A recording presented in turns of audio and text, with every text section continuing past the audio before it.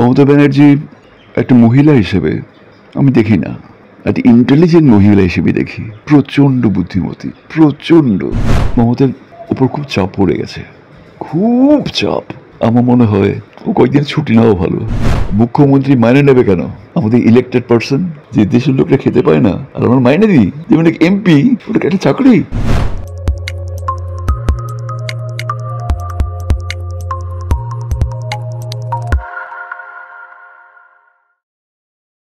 কে? রং করাবেন ভাবছেন? আমাদের টিম যাবে। আপনার বাড়ি। জিরো ডাউন পেমেন্ট ইএমআইতে হোম পেন্টিং করুন আর পেয়ে যান পাঁচ বছরের লিখিত ওয়ারেন্টি। পিসি সরকার জুনিয়রের সঙ্গে পিসির সরকার বর্তমানে ব্র্যাকেটের মধ্যে একেবারে সততার প্রতীক দিতে হবে কারণ গতকালই আমরা দেখলাম মুখ্যমন্ত্রী নিজে বলেছেন। তাদের সম্পর্ক কি দেখুন? ব্যক্তিগতভাবে আমি কিন্তু মমতা ব্যানার্জিকে খুব ভালোবাসি। আমাদের সম্পর্ক একদম দাদা বোনের মতো। এবং বুদ্ধিমতী হিসেবে ও অতুলনীয়। কিন্তু দেশ চালনা করতে গেলে পরে আমি, আমার মনে হলো বোধ হয় ওই চেয়ারের কোনো অসুখ অশুভ ব্যাপার আছে। মানুষ মানুষ থাকে না। মানুষের মস্তিষ্কে বিকৃতি থাকে। তার কারণটা কি? ডান দিকে যদি একটা বাজে লোক থাকে, বাঁ দিকে যদি একটা খারাপ লোক থাকে, পেছনে যদি একটা বদমাইশ থাকে, সামনে যদি একটা গুন্ডা থাকে, তাহলে নিজের চরিত্রকে সঠিক রাখা যায় না। মমতা ব্যানার্জি একটা মহিলা হিসেবে আমি দেখি না। একটা ইন্টেলিজেন্ট মহিলা হিসেবে দেখি। প্রচণ্ড বুদ্ধিমতী, প্রচণ্ড। এবং ওনার মধ্যে যে ক্যাপাসিটি ছিল আমরা কিন্তু ওর হাত ধরে বেরিয়ে যেতে পারতাম। কিন্তু আমাদের দুর্ভাগ্য, উনি যখন নাকি ফার্মামেন্টে এলেন, উনি যে পরিস্থিতির মধ্যে দিয়ে ঢুকতে হলো, ওই রাস্তাটা কাটতে গিয়ে অনেক অনেক ভুল পথেই যেতে হলো। কারণ ওনাকে পৌঁছতে হবে।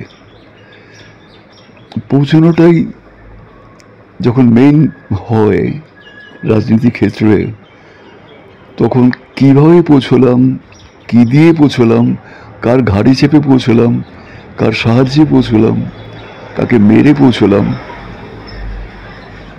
সেটা বড় কথা হয় না। আমি মোদি সাহেবের একটা কথা কোট করছি सफर में धूप तो होगी तुम चल सके तो चलो এটা হলো মুরোদের কথা উনি আবার আরেকটা কথা বলেছিলেন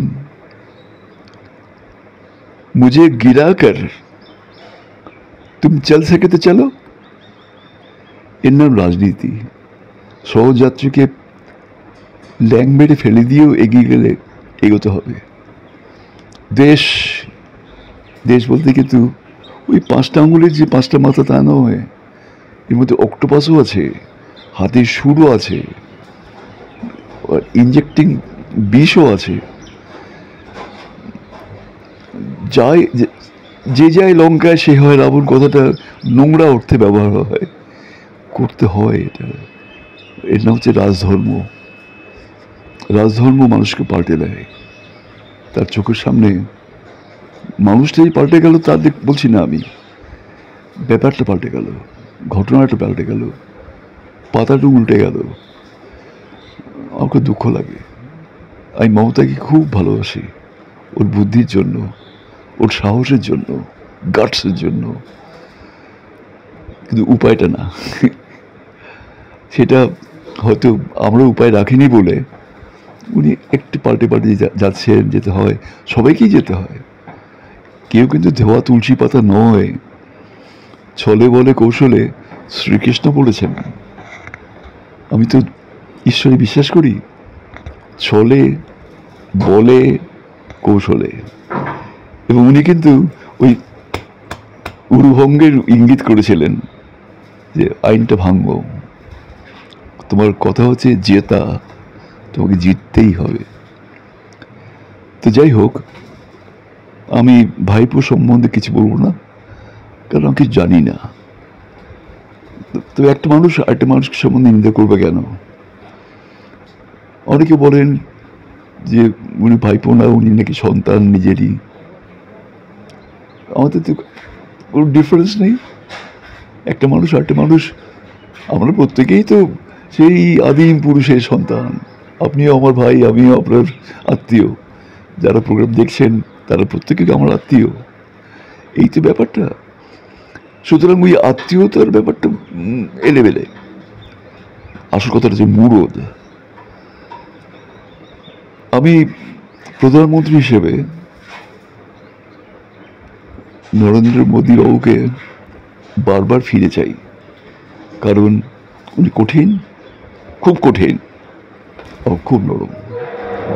উনি যে ভারতবর্ষকে মহাত্মা গান্ধী হাফ নেকেড ফকির তাদের রিপ্রেজেন্টেটিভ হয়ে দেখিয়েছেন এবং এখনও পর্যন্ত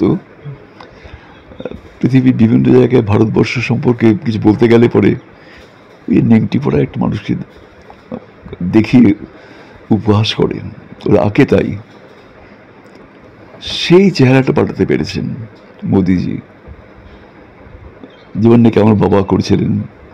রাজবেশ পরে ম্যাজিক দেখানো রাস্তার পথের বেদেদের পোশাক নয় সময় মতো বেদেরা বেদে কিন্তু সময় মতো যে রাজসভাতে রাজার মতো আসতে হয় সে নরেন্দ্র মোদী দেখিয়ে দিয়ে গেছেন। চন্দ্রযান সে দেখিয়ে দিয়ে গেছেন। মঙ্গলে আমরা পা দিতে চলেছি। সব কিছু অশুধু তা নয়। গেছেন কেন বলছেন? আছেন তো এখন। আমি পুরোনো দিনের কথাগুলো বলছি। আর যেটা সামনে মানে সামনে যে আসছেন বলছি, যেটা আমি খুব আশাবাদী। আমার যদি কোনো ক্ষমতা থাকে, আমি ধরে বেঁধে নিয়ে আসব আবার। আর লোককে বলব তাই আর বোকামি করো না, কতটা করবে? লিডারকে চেনো। হয়তো সেন্টারে নরেন্দ্র মোদী, হয়তো পশ্চিমবাংলায় মমতা ব্যানার্জি হয়তো আমাদের পক্ষে মঙ্গলের ব্যাপার আমি জানি না, আমি জ্যোতিষী নই, আমি প্রেডিকশন করতে পারি না, আমি রাজনীতিবিদ নই। আমি একটা সাধারণ মানুষ এবং অন্যরকম মানুষ। আমি মানুষের মনোরঞ্জন করে খাই, তবে সিনেমার মতো নয়, আমার হচ্ছে লাইভ করা। আমাদের কোনো রিটেক করতে সুযোগ থাকে না। সেই জন্য মমতা ব্যানার্জি যেমন নাকি মাঝে মধ্যে বলেন না, যে I take my words back আমাদের কিন্তু এই ওয়ার্ডস ব্যাক করে নেওয়ার প্রয়োজন হয় না, সেরকম পরিস্থিতি থাকেও না। আমার দিদি যেন দিদি থাকে, আমার দাদা যেন দাদা থাকে। নরেন্দ্র মোদীকে আমি শ্রদ্ধা করি, মমতা ব্যানার্জিকে আমি ভালোবাসি। জনগণকে বলছি, আপনারা যদি আমাকে বিশ্বাস করেন নরেন্দ্র মোদী যেন ফিরে আসেন, এই ব্যবস্থাটা করবেন। আর আমাদের পশ্চিমবাংলায় যে মমতা ব্যানার্জিকে ফিরিয়ে আনতে হবে এখন কথা নেই। যেটা ভালো সেটা যেন হয়। মমতার উপর খুব চাপ পড়ে গেছে। খুব চাপ। আমার মনে হয় ও কয়েকদিন ছুটি নেওয়া ভালো। এটা অন্য অর্থে নেবেন না। শীতকালে সুন্দরবন ভ্রমণের নির্ভরযোগ্য একমাত্র নাম সাগর সঙ্গম ট্রাভেলস। নিজস্ব লঞ্চে ভ্রমণ এবং অফুরন্ত খাওয়া দাওয়ার বিপুল আয়োজন। বুকিং করুন nine seven double three zero double six zero seven five. কিন্তু গতকাল আমরা দেখলাম মুখ্যমন্ত্রী তিনি আক্ষেপ প্রকাশ করেছেন। তিনি বলেছেন যে তিনি মুখ্যমন্ত্রী হিসেবে দেড় লক্ষ টাকা বেতন নিতে পারতেন। তিনি সাতবারের এমপি ছিলেন। এমপি হিসেবে এক লক্ষ পঁচিশ হাজার টাকা বেতন নিতে পারতেন। এখনও পর্যন্ত চল্লিশ থেকে পঞ্চাশ কোটি টাকা তার পক্ষে জমানো সম্ভব হতো। তিনি এক পয়সাও বেতন নেন না, তিনি রয়্যালটির পয়সাতে তার খরচ বহন করেন। তা সত্ত্বেও আমরা তৃণমূলকে খালি চোর বলছি। আপনি কি মনে করেন? আমার মনে হয় টাকা দিয়ে মানুষকে ভ্যালুয়েশন করা যায় না। মুখ্যমন্ত্রী মাইনে নেবে কেন? আমাদের ইলেক্টেড পারসন আমি যখন রাশিয়াতে গেছিলাম আমি কিন্তু কোনো ইজিম টিজিম প্রশ্ন করছি না। আমি আমি মানুষের কথা বলছি। আমি যখন বলেছিলাম যে আমাদের স্কুলে পড়তে গেলে পরে স্কুলে ভর্তি হতে হবে আর তারপরে আমি যদি এখন নাম না দিই তাহলে আমার মেয়েটা ওই স্কুলে চান্স পাবে না। যাকে বলছিলাম তিনি অবাক হচ্ছিলেন যে আপনাদের দেশে স্কুলে লেখাপড়া করতে পয়সা দিতে হয়?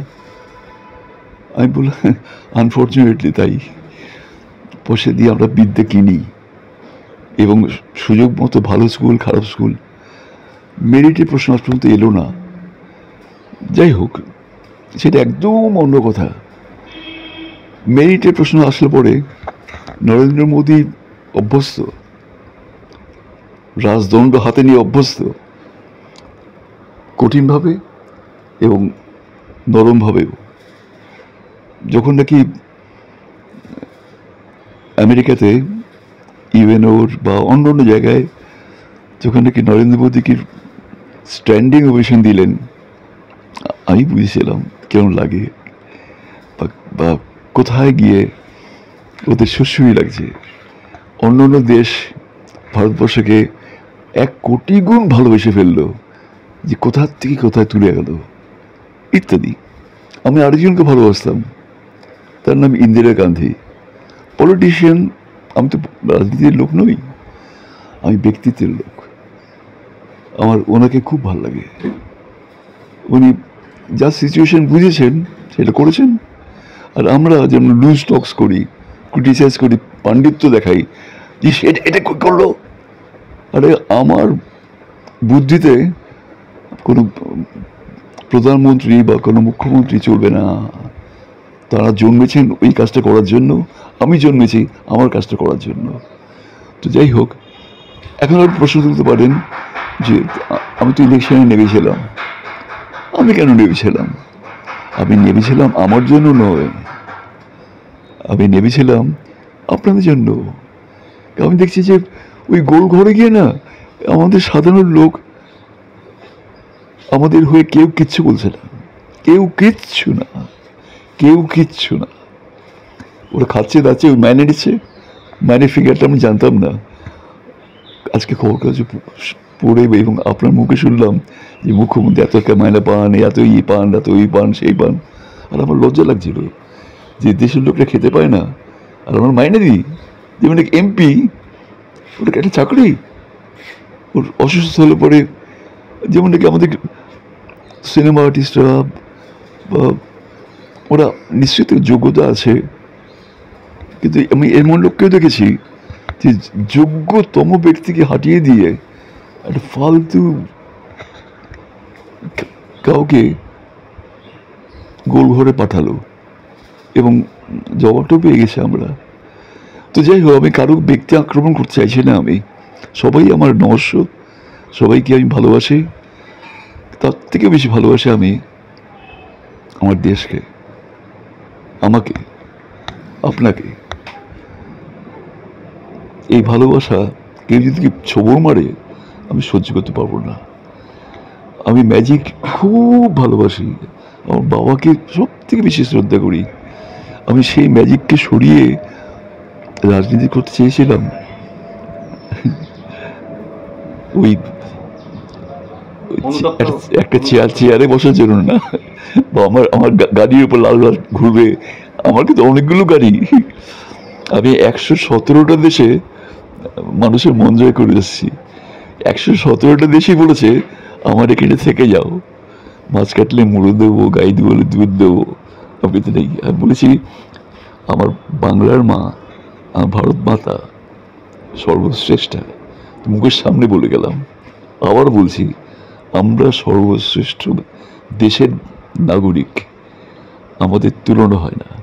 কিন্তু অনেকগুলো ফ্যাক্টর এতগুলো বছর ধরে অন্যের দাবিয়ে রেখেছিল আমাদেরকে।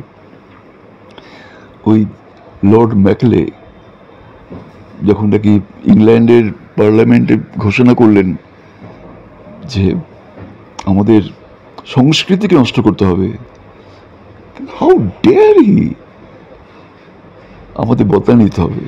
ওই বোম মেরে না, চাকু মেরে না, আমাদের পরস্পর হাত ধরে আমাদের ওদেরকে না ভালো রেজাল্ট করে দেখাতে হবে যে তোর থেকে আমাদের মেধা বেশি। আমি সেই জন্য ইন্দ্রজাল নিয়ে না ওদের আক্রমণ করি। ম্যাজিকের মধ্যে মন্ত্রতন্ত্র টুকটাক কিছু নেই। সব হচ্ছে বিজ্ঞান, সব হচ্ছে বুদ্ধির খেলা। আমি প্রমাণ করেছি, তোদের বুদ্ধির থেকে না এই বাঙালির বুদ্ধিটা অনেক বেশি। আমি তো একটা স্যাম্পল একটা ছোট্ট টুকরো এসছি। যখন আমাদের দেশের ছেলেমেয়েরা ওই বাচ্চারা যখন বড় হবে, দেখবে কীরকম আক্রমণ কাকে বলে, বোম ফাটিয়ে না। আবিষ্কার করে, সৃষ্টি করে। একটু ওয়েট করো। আর আমি আমার ছোট ছোট বন্ধুদের বা ভাইদেরকে বলছি, আমি কিন্তু পিসি সরকার না। পিসি সরকার তোমার তোমার মধ্যে একটা পিসি সরকার লুকিয়ে আছে। তুমি ওটাকে বের করে নিয়ে এসো। জাদুকর কাকে বলে? একজন লোক, তবলা বাজায় লোক। যদি খুব ভালো তবলা বাজায়, বলি ভালো বাজায়। যদি আরও ভালো বাজায়, বলি দারুণ বাজায়। যদি আরও ভালো বাজায়, তখন বলি ওনার হাতে না জাদু আছে।